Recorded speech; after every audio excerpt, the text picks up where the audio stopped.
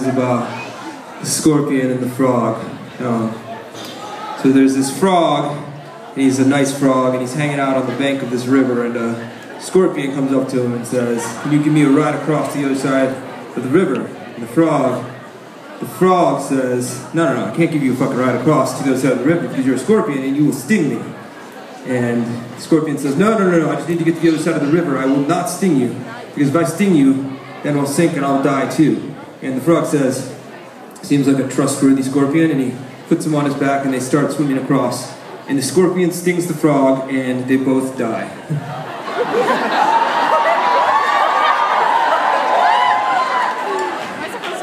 and this one is about growing up a scorpion and turning out alright on the other side. This one's called The Kids Aren't Alright.